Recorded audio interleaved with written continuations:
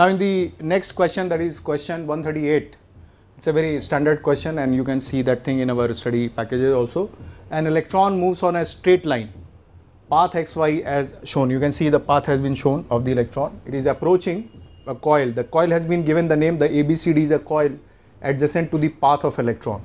So they are asking you what will be the direction of current induced. This is a chapter uh, electromagnetic induction you can say. You see if the electron is approaching, this is electron is free one, it is not flowing inside wire, this electron is free so it is creating electric field and that electric field is moving. So once it will be approaching, it will have one kind of effect and once it will be receding, it is moving towards y and receding from the coil, then it will have reverse effect. So the correct answer for this question will be the fourth one. The current will reverse its direction as the electron goes past. Understand? So I will be marking answer 4 for this particular question. Now switch over to question 139.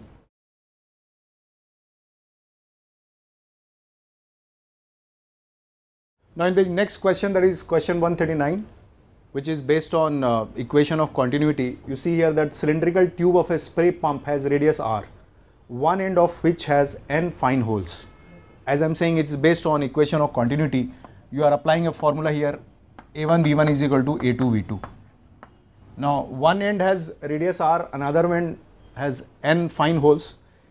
If the radius is r, area it will be proportional to r, r square or you can say area is pi r square and the velocity here is v. On the other end you have they are saying n fine holes each of radius r. So what is the area? n into pi r square and the v2 you are supposed to calculate.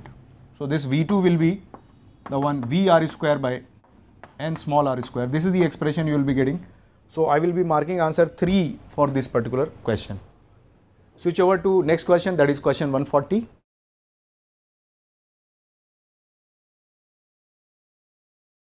Now in this uh, next question that is question 140 which is based on Young's modulus of elasticity the formula you happen to use is Young's modulus is force upon area upon delta L by L. This is a kind of question in which you have to balance the delta L. Delta L from here you can write down the expression it can be written as WL upon YA you have to balance delta L. It is given in the question that two materials have same elongation. How?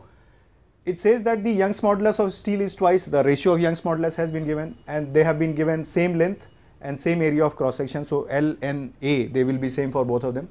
They are saying if you want the lower ends of the wire to be at the same level. What is the meaning of this statement? That initially they had the same length and finally also they want same level. That means the elongation delta L in both the wires must be same and ultimately they want what is the weight ratio. So use this expression delta L is same uh, inverse of uh, W and Y inverse of Y is there and W is there. So W becomes directly proportional to Y.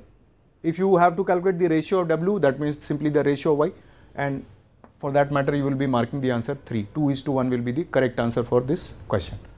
Now let us switch over to next question that is question 141.